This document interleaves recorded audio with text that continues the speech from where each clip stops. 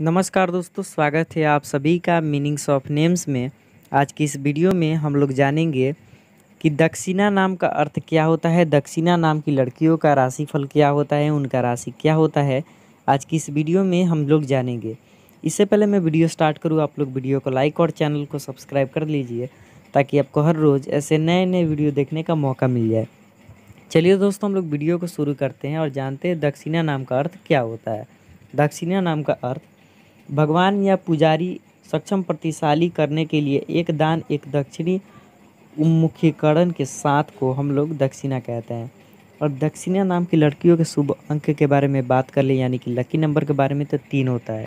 अगर शुभ दिन के बारे में बात कर लेते हैं तो शुभ दिन इनका गुरुवार होता है। जी हाँ दोस्तों, और इसी के साथ शुभ रत्न की बात कर लेते हैं।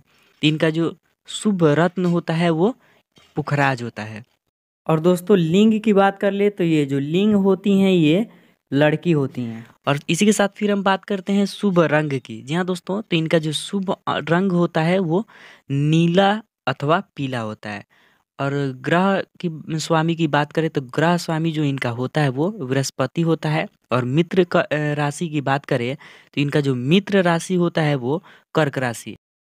दोस्तों, अगर आपको ये वीडियो पसंद आ रहा है तो आप लोग प्लीज़ वीडियो को लाइक कर दीजिए और चैनल को सब्सक्राइब कर दीजिए और वीडियो को ज़्यादा से ज़्यादा अपने दोस्तों के पास शेयर करिए ताकि हमारे वीडियो ज़्यादा से ज़्यादा ग्रो हो। अगर आपको दोस्तों किसी नाम का अर्थ जानना है तो आप नीचे कमेंट सेक्शन में, कमेंट सेक्शन दिख रहा होगा, वहाँ पर आपको अपना नाम लिख देना है और हमारे पास भेज देना है। अगला जो वीडियो रहेगा, उसी नाम के ऊपर रहेगा। तो चलिए दोस्तों, हम लोग वीडियो को शुरू कर लेते हैं और जानते हैं इनकी राशि के बारे में। इनका राशि क्या होता है? तो इनका जो राशि होता है, इनका नाम का राशि मीन राशि होता है। जी हाँ दोस्तों, मकर राशि का स्वामी ग्रह शनि होता है। भगवान शनि देव और हनुमान जी को मकर राशि का आराध्य देव माना जाता है। जी हाँ दोस्तों, मीन राशि वाले लोगों का पाचन तंत्र तथा प्रतीक्षा प्रणाली अधिकतर कमज़ोर होती है, इसलिए उन्हें शराब का सेवन करने से बचना चाहिए। इस राशि के व्यक्तियों को पाँव और पैरों की उंगलियों से जुड़े रोग, बलगम संबंधी समस्या, गठिया, जोड़ों का दर्द, ट्यूमर आदि रोग हो सकते हैं। जी हाँ दोस्तों तो ये जो है इन रोगों से इनको बचाव रखना होगा। तो आज की इस वीडियो में इतना ही।